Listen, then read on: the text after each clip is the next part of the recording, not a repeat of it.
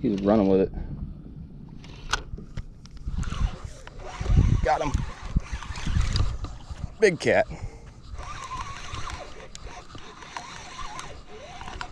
Yeah, oh man, that's a really good cat.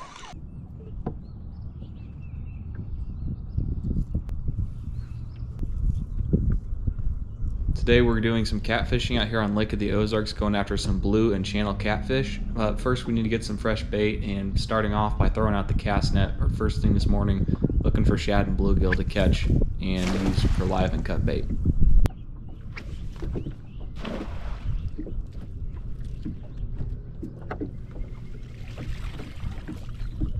There's what we're looking for right there, just some little bluegill like that, right around under five inches or so. That one's a good drop. Should have something in this net.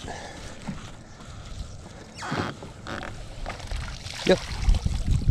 All right, got a couple more out of that throw right there. Well, guys, threw the cast net out one more time over here on this bank this time, and I actually couldn't get bait this time, but I got what's chasing them. A little channel catfish right there, and hopefully he just comes out of that net because their spines at that size will get you pretty bad. But yeah, first catfish of the day out of the cast net. Not how I was planning it. You gotta get him back in.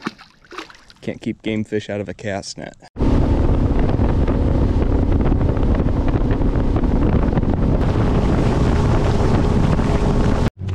Looks like enough bait to get us started. Let's go see if we can catch some catfish with these guys. These are perfect bait, about three inch size gizzard shad.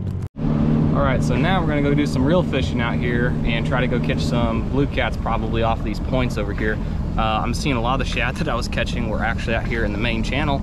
So we're gonna try deeper down. I saw some marks kind of hanging out down there below them and I guarantee you that those are catfish. So we're gonna go and try to drop down to some of those schools that I saw earlier and uh, see if we can pull some out guys today we're going to be rigging these fish up or bait up on a circle hook here on a three-way rig. I've got a three-way swivel tied up here. I don't know how well you all see that but uh, the first swivel up here closest to my fingers this one goes up to my main line. This one right here goes down to a two ounce sinker that i've got over here.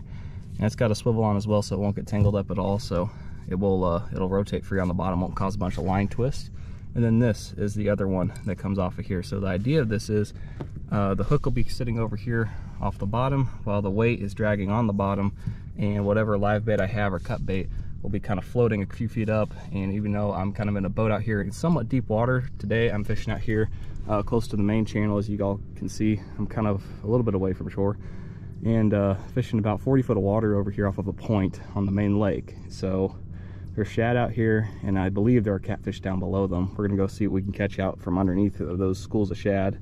But first up, we're gonna get this bait hooked up on this rod and get it out there. Bluegill on this rig, I like to take my circle hook and go right behind their back dorsal fin here and don't go all the way down to their spine. You'll see a little line on these fish kind of right in through here. It's a lateral line. You want to go above that and right underneath that dorsal fin. Sometimes the scales kind of get in the way and then pop that through the other side and make sure that hook point on this side is clear of any scales like I have here. You don't want to have anything that's going to be in the way of that hook point going into that fish's mouth when he does grab it. Got first one on right here. Feels decent. I just saw the rod twitching over here. He wasn't even feeling like he was on there. I was getting ready to reel up, see if I had my bait. Oh, what do I have? This isn't even a fish. Oh, that's weird. I got a roller skate. Um, okay. That is 100% just like a roller skate or something.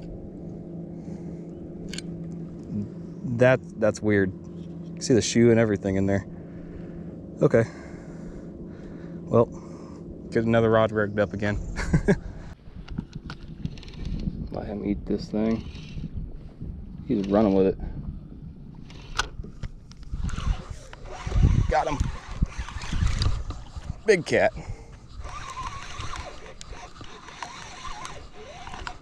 Yeah, oh man, that's a really good cat. That was a good head shake right there. Holy crap. Stay on, bud.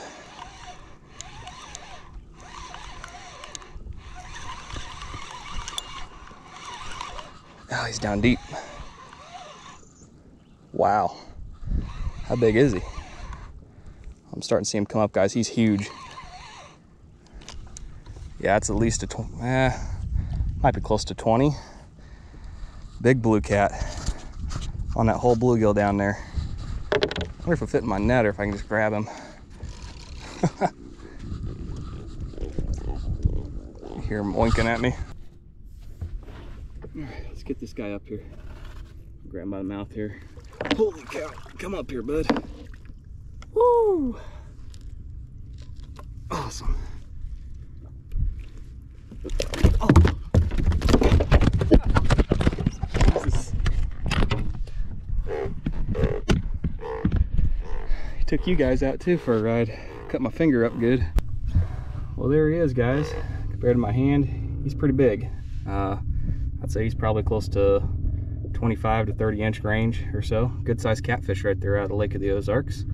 I am gonna put this guy back in and I'm not really gonna be keeping a lot of the blues out of here today. So if I do get a flathead, I might keep him. But this guy is a nice fish to catch and a lot of fun, but not what I'm wanting to take home to eat. That's a good look at him right there for you guys. I'm gonna get him back in and uh, send him off on his way. Sweet. All the slime. I think we might be getting to take up here. Oh yeah. Oh yeah. He's on.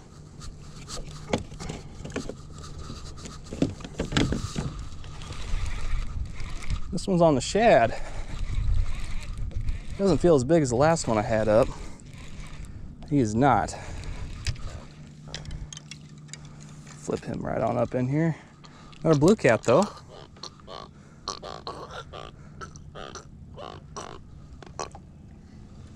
Be nice. It's a nice little catfish right there. Uh, be perfect eater size, but I'm just not too interested in eating blues. One last look at him right there before he goes back in. This one came on the shad. The other one, big one, was on the bluegill. So we're eating a bunch of different stuff down there.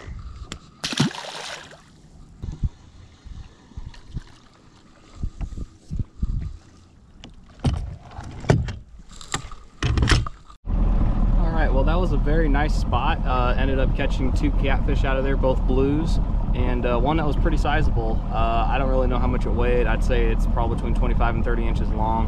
Uh, decent sized catfish for here. Uh, nothing that's a monster, but definitely a good one. So we're gonna keep moving around though because that spot's cooled off. It's been about 15 minutes since I've had any bites. So I'm gonna keep moving on and uh, see if I can find some more fish and some active ones because I think they're still down there. They're just not biting right now. Might come back to this spot later.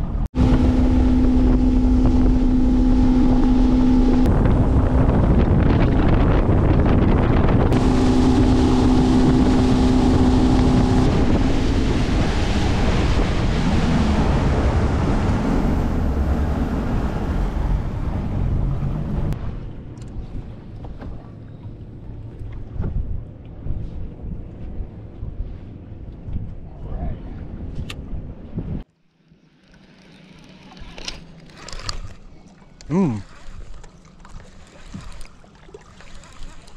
Yep, got one on.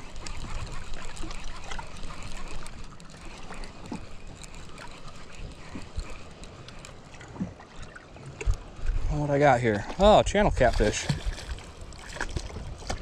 Grab my net for this guy, he'll fit in it.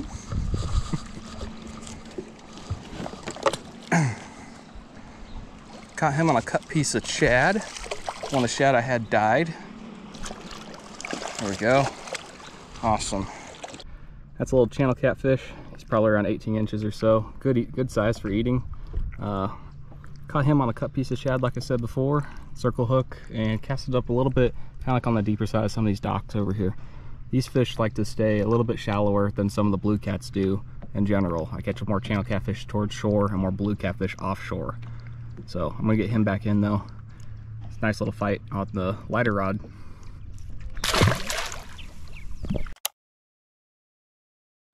Well, Well, that spot only had that one catfish at it that was active anyway and wanting to eat anything. So we're gonna keep moving on to another one and uh, keep trying to go and hole hop here. If I don't get action within a few minutes of fishing a spot, like 15 minutes of being there, uh, I like to move because otherwise I'm gonna be fishing water that either doesn't have a lot of catfish in it or doesn't have a lot of active feeding ones.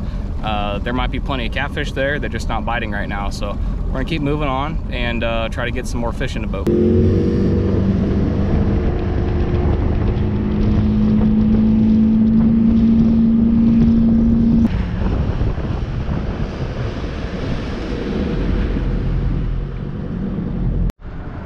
Spot number three, guys. Gonna try this bridge and this bluff right here next to it. Uh, I got about 50 foot of water where I'm sitting at right now, right underneath me. And uh, seeing a few marks on the scope already, so there should be some fish here. A few moments later. Got one on. Did not take long to cast next to this bridge piling. So got our blue. Came on a cut piece of shad as well, and he's a fat one. I'm gonna flip him in here. Nice. There the hook came out. It's a good thing about circle hooks there. That's the catfish. Another nice will be eater size. I was going for that today, but I'm gonna throw him back in. Nice little fight right there off the bridge piling.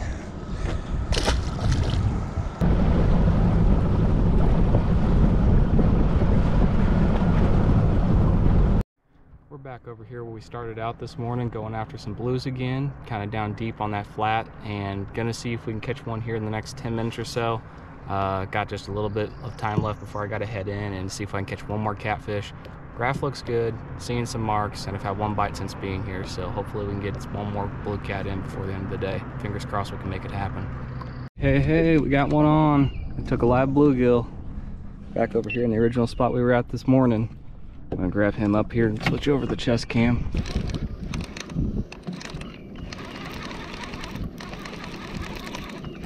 I don't know if he's on there anymore or not. No, he came off.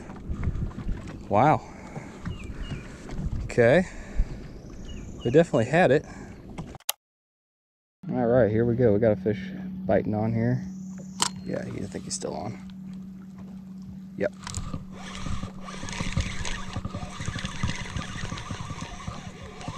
That's a cat. Oh, good head shake right there. It's probably decent. Feels decent.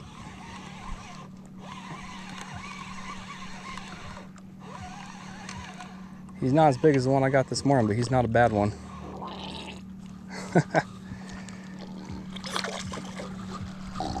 oh yeah, sweet. Look at the size of that catfish, guys. Nice catfish right there. He's winking at me. Fish came out of about 45 foot of water right there on three-way swivel. I think that's probably gonna wrap up today for us guys. I'm gonna get him back in the water here.